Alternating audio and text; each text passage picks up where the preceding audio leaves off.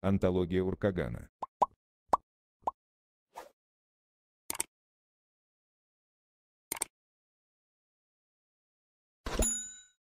В греческой тюрьме скончался лидер кутаиского воровского клана Давид Себесквирадзе.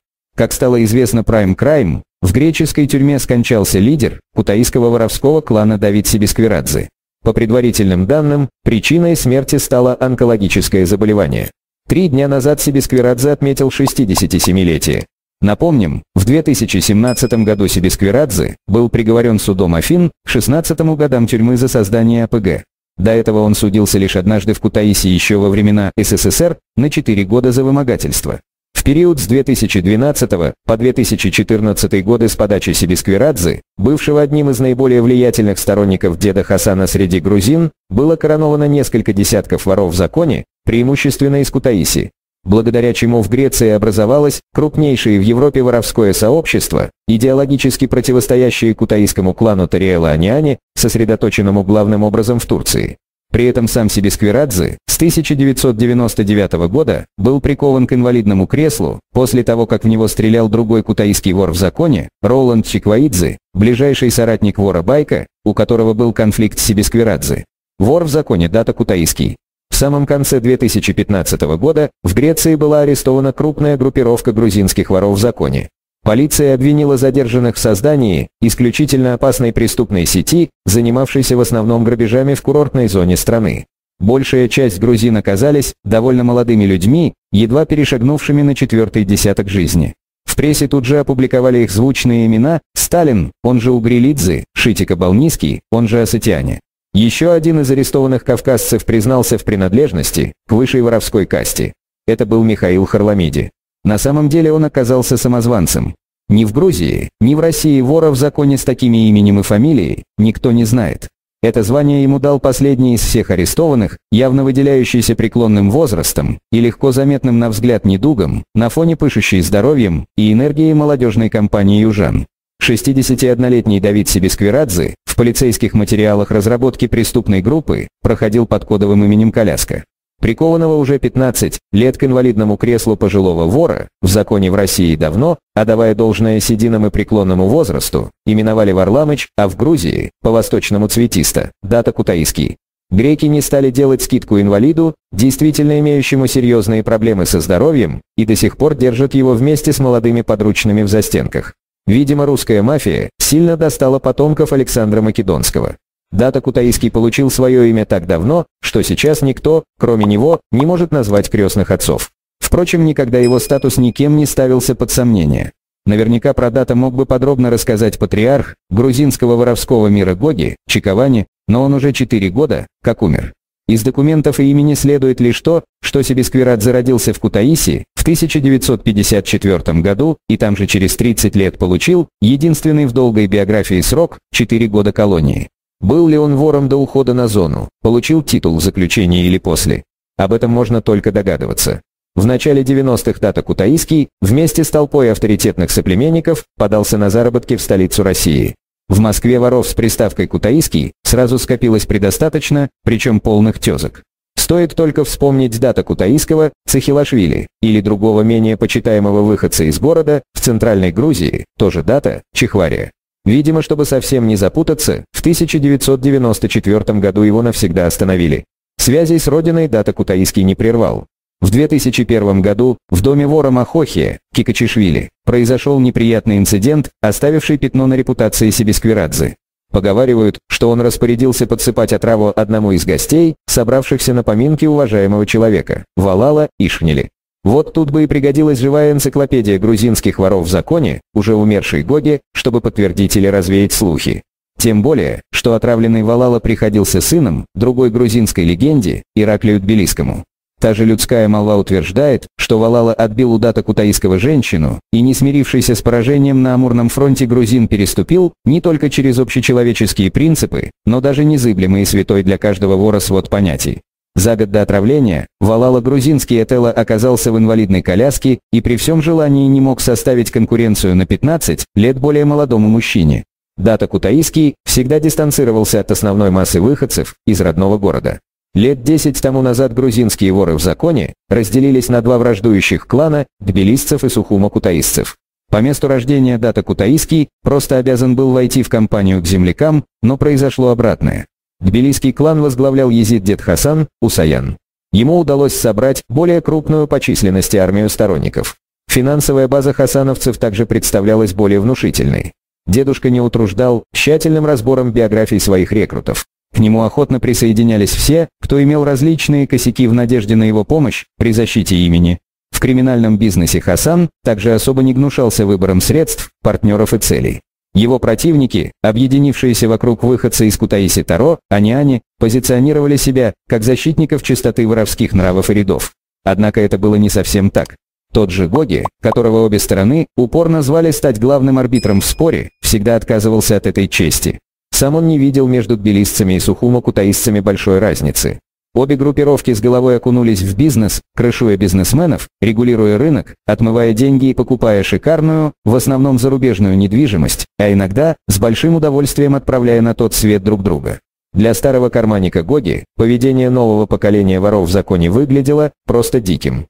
С этой печальной мыслью старик закончил земной путь, уйдя на безмятежные небеса.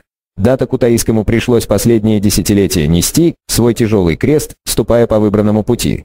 В инвалидную коляску он угодил во время празднования нового, 2001 года. У Дата были претензии к другому грузину Байка, Кутатиладзе.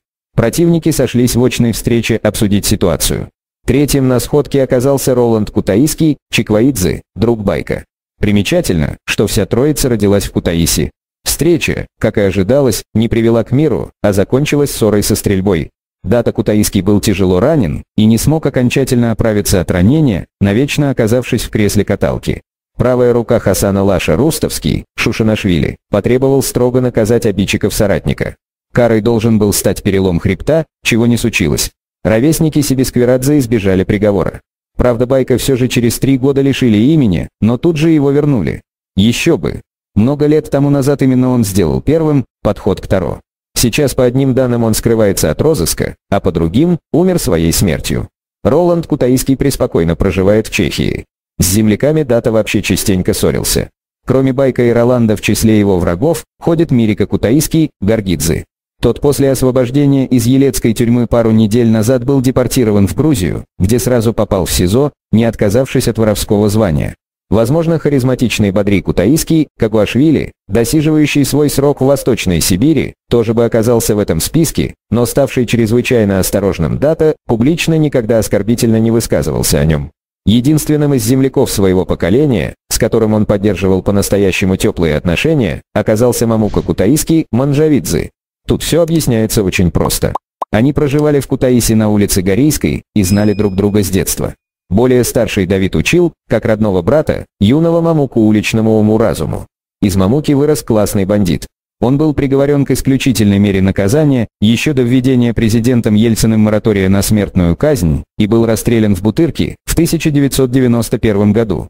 Кроме арестованных вместе с дата Сталина и Шотика Балнийского, рядом с ним частенько замечали молодую поросль в лице Зазы, Амраладзе и Курши Кутаиского, Джавахадзе. Может быть, по замыслу гуру, они должны призваны заменить кутаисцу его любимого ученика и соседа. Дата Кутаиский со своим инвалидным креслом очень пригодился деду Хасану.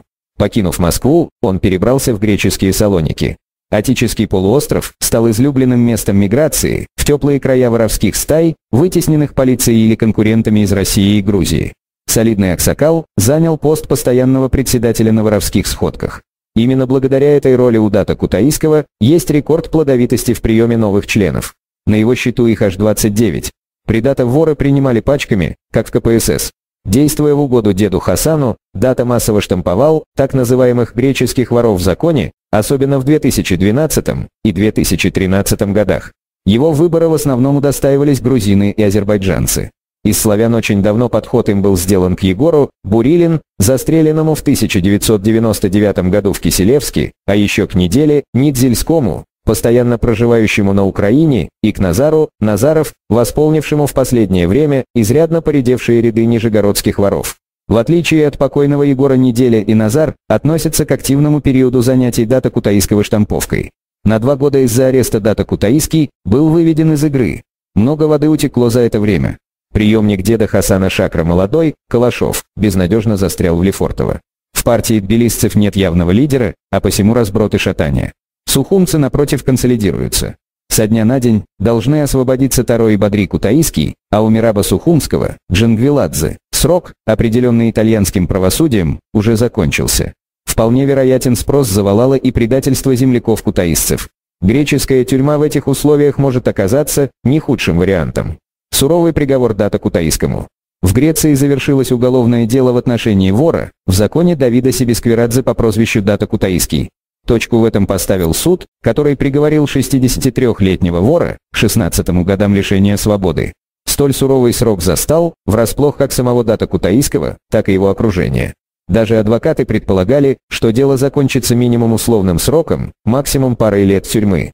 Ведь вора обвиняли, по их мнению, всего лишь в грабежах, которые совершала банда Себесквирадзе по его приказам. Впрочем, сумма ущерба составила 10 миллионов евро. Стоит отметить, что Давид Себесквирадзе уже 15 лет двигается только с помощью инвалидного кресла, откуда и получил у оперативников псевдоним «Коляска». Именно под этим кодовым именем «Вор в законе» проходил по документам спецслужб, разрабатывающих его группировку. А группировка состояла из нескольких бригад, которые действовали на территории Греции, России и Европы. У бригад были свои смотрящие, также из воров в законе, которые подчинялись непосредственно Дата Кутаискому. Бригадиров также удалось задержать и привлечь по соответствующим статьям Уголовного кодекса. Речь идет о таких криминальных лидерах, как Шата Асатиани, Шотика Балниский, Илаша Угрелидзе, Сталин. Они получили судом 17 и 16 лет соответственно. Говорить о том, что произошел разгром крупной банды, не приходится. Дата Кутаиского с другими ворами арестовали в 2015 году, но основная масса исполнителей грабежей оказалась неизвестна силовикам. Насколько известно, многие преступники, входящие в состав банды, уже начали попадать под влияние других воров, осевших в Греции. Итак, напоминаем нашим зрителям, 22 апреля 2021 года в греческой тюрьме скончался лидер кутаиского воровского клана Давид Себесквирадзе, известный в криминальных кругах когда-то кутаиский. По предварительным данным, причиной смерти стало онкологическое заболевание. Три дня назад Себесквирадзе отметил 67-летие.